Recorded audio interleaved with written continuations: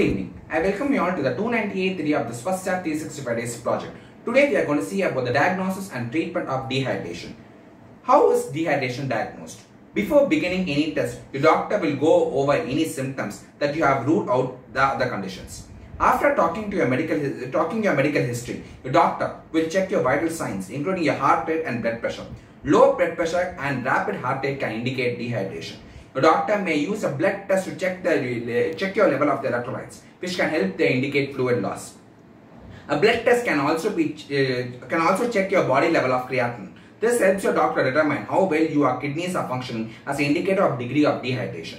A urine analysis is an exam that uses a sample of urine to check the presence of bacteria and electrolyte loss. The color of the urine also indicates hypertension when combined with other symptoms. Dark urine alone can't diagnose hypertension. Strategies to treat dehydration.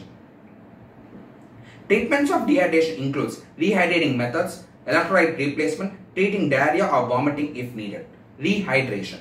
Rehydration by drinking may not be possible for all people, like those who have severe diarrhea or vomiting. In this case, fluids can be given intravenously. To do this, a small IV tube called as a Venflon is inserted in a vein in the arm or a hand. It provides a solution that often mixed with, with water and electrolytes. For those able to drink, drinking water along with electrolyte containing dehydration drink such as low sugar sports electrolyte drink may be recommended. Children with dehydration are often adapted to drink a Pedialyte homemade rehydration solution. If an electrolyte drink is av isn't available, you can make your own rehydration solution. Half a teaspoon of salt, 6 teaspoons of sugar and 1 liter of water. Be absolutely certain that you are using an accurate measurement. Using too much of salt and sugar can be dangerous too. This is called as ORS. Things to avoid. Avoid soda, alcohol, overly sweet drinks or caffeine.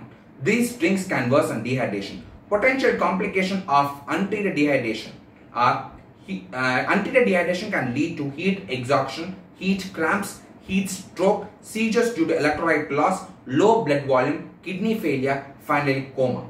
How to prevent dehydration?